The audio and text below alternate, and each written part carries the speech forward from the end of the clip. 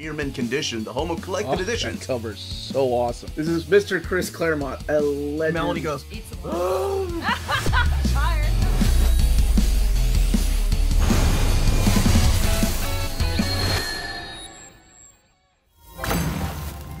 How's it going, all you minties? Uncanny Omar here from Near Mint Condition, the home of collected editions, and join me today for my overview of the Gurren Lagann archives from Udon Entertainment. So, stay tuned.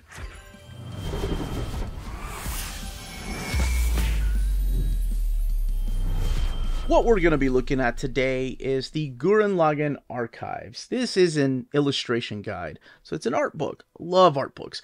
This is published by the folks at Udon Entertainment. And I want to give a huge thank you to the folks at Udon Entertainment for sending us a copy of this particular illustration guide. So here we have the main characters of Simon, Nia, Yoko, and the man right there, Kamina. And how could I forget Buta? And right there's the Udon logo, Gurren Lagann Archives style. And here you have an image of Yoko on the spine, and she's also on the back. And that is a classic. I think that's one of the covers to the DVDs. So yes, in here you're going to see illustrations from posters and DVDs, websites, and movie posters, and some stuff from Parallel Works. The retail price of the book is $59.99. And this is a softcover edition. I'm not sure if they ever brought the hardcover edition or if there even was one in Japan. So that's where this was originally published, and then it was brought over here just recently and published by Udon. Everything has been translated. So we're going to be talking about the build in a little bit, but cracking it open, and I'm sure you probably noticed that this is printed in the right to left format, just like most manga. And I say most manga because I'm looking at you, Blade of the Immortal. All right, let's crack it open and talk about this artwork in here. But before I do, if you haven't seen Tengen Toppa Gurren Lagann, there's going to be spoilers in here. There's nothing I can do about that. And if you haven't seen the movies, there's going to be spoilers for the movies. This is more for people that have already checked it out or just don't care about spoilers then. All right, let's go ahead and crack it open. Okay, let's go ahead and crack it open. Oh, one more thing actually before I do. I wanted to talk about the dimensions of the book because it is very similar to the dimensions of a trade paperback in America. It's just a little bit longer and just as tall, but it is a little bit longer. So the artwork is just a little bit bigger than that of a trade paperback. Now, we're not going to look at all the images. We're going to just look at some of them and, of course, reminisce about this phenomenal series.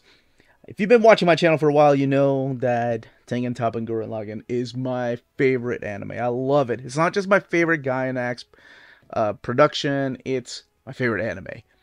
I know it's hard to beat Evangelion and Gunbuster. Those were my favorites growing up, or Nadia, The Secret of Blue Water. But there was just something special about this 27 episode series. And then, of course, the two movies. And then spun out of video games. And when we were in Japan, we got to play some got, uh, gachapons. But here are some of the characters. Uh, some of the stuff in here comes from the DVD covers, from the limited edition DVD covers, from the limited edition Blu-ray covers, from the movie, and it was because it was released so many different ways in Japan. So in here you're going to see the classic characters, and of course pictures like this of Kamina and Simon. Such a beautiful moment right there. Was it episode 26, I think? And the main characters about the first half of the series. And then, when, of course, when everything changes after this, and the characters are grown up, and everybody is credited. So they give the credits to the artist all the way down here, but the illustrations are done by these wonderful folks, where each piece originally came from. And there's just some amazing pieces, and some that I've not ever seen and I thought I had seen just about everything. There's some crossover pieces too, like between Gurren Lagann and other Gainax works. And I love mashups like that because I've been following Gainax, oh my gosh, since the late 80s. And of course, they're not even around anymore, or a lot of them have joined different production companies, but there was something really special about them. Oh, yes. Um, so actually, what you're going to get here is about a hundred plus pages of color artwork. So you're going to get artwork like this. Some of it is painted. Some of them look like cells. Some of them are movie posters. Some of them are just ads for particular episodes. And I think it's just divided perfectly. So you get that at the beginning. And then you get the character arts. So you get the breakdowns of the characters. And I mean, it is a deep breakdown. You get to see their expressions, close ups of the characters. And here's our main three Yoko, Kamina, and Simone. And don't worry, you get more of like future Simone later on and Space Yoko's outfit. There's Leeron. Buta gets his own little spot. Viral. And there's Princess Nia. And then you even get Princess Nia with the haircut. Nice. Dayakka and Kitan and his sisters. Kiyo and Kiyal and Kinon are all here. There's Gimmy and Darry and Rossiu. Yeah. It's the guy you learn to hate later on. There's old Coco. He has his own little secrets later. Man, I love this series. Uh, you have the bad guys. You have the villains like Lord Genome right there and all his generals coming up. And the creatures that live in this world. Uh, the different outfits. Each episode feel... That's the onsen episode. Uh, that episode still cracks me up. Here's Simone in the last, or I guess the third act, right? No, no, Simone in the third act looks more badass. That's Simone when he's got all the civil duties. This is Simone when he's up in space in charge of Galaxy Gurren Lagann. Oh, and all the side characters. Now, if you're wondering, like, wait a minute, yeah, I like the characters, where's the mech? Don't worry, the mech is all here. And it is detailed drawings of the mechs. And I didn't realize how much mech there was in this series. I think there's more mech pictures than character pictures.